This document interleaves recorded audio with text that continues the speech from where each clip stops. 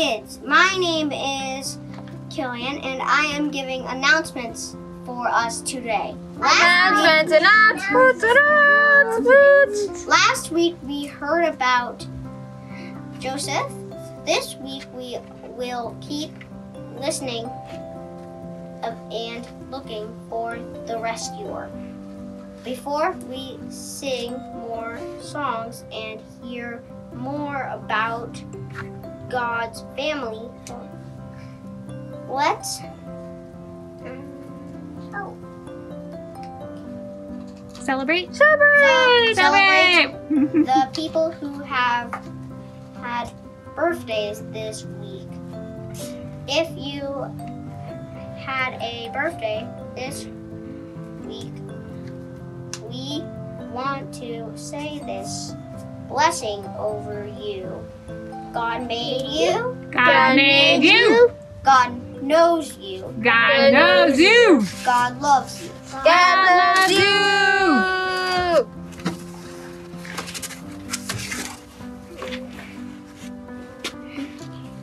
over the summer, Imago Kids is supporting our global team in Nepal. S- say this blessing over with, with blessing with me over Nepal.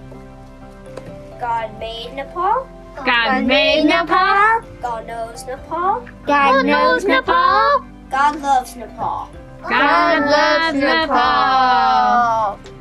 Woo! Nepal's great. I love it. I love it. Okay, thanks.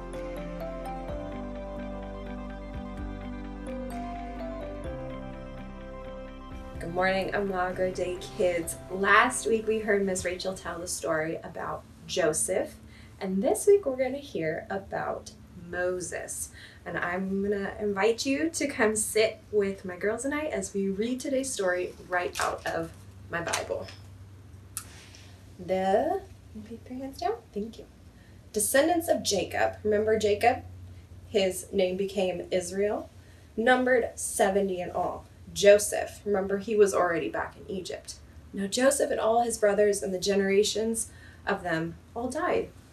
But the Israelites were faithful and multiplied greatly and became exceedingly numerous, so that the land was filled with them.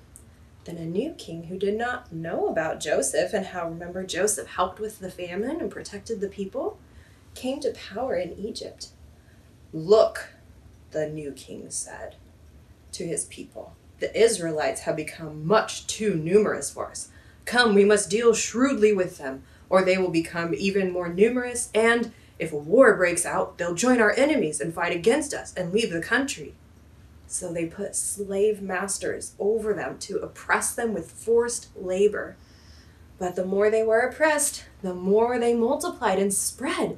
So the Egyptians ah, came to dread the Israelites and worked them ruthlessly. They made their lives bitter with hard labor in brick and mortar, with all kinds of work in the fields. In all their hard labor, the Egyptians used them ruthlessly.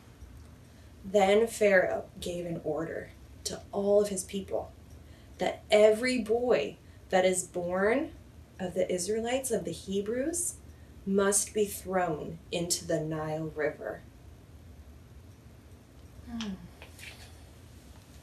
That's sad. It is really, really sad. Reminds me of when Jesus was a baby. That's right, because later in our story, Jesus is the rescuer. And when Jesus was a baby, all of the babies his age in Bethlehem were also ordered to be killed by the king. Hmm. Now, a man of the house of Levi married a Levite woman named Jochebed. She became pregnant and gave birth to a son. And when she saw that he was a fine child, she hid him for three months. But when she could hide him no longer, she got a basket for him and coated it with tar and pitch. Then she placed the child in it and put it among the reeds along the bank of the Nile River. His sister stood at a distance to see what would happen to him. And Pharaoh's daughter went down to the Nile to bathe. and her attendants were walking along the river. She saw the basket among the reeds and sent someone to get it for her.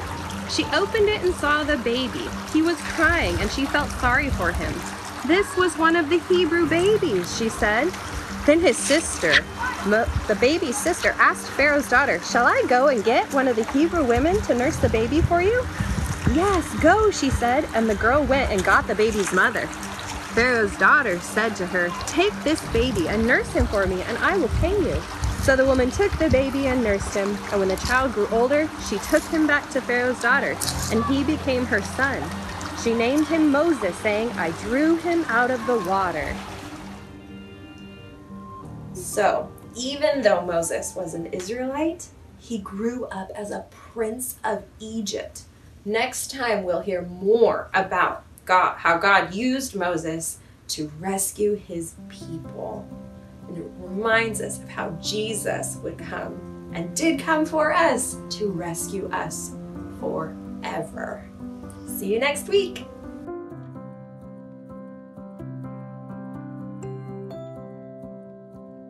Hi. Hi, Wood, Wood and Andrew's family. Yes, we are. And we love to sing songs and dance and worship Jesus. So we're going to do that right now. And let's start.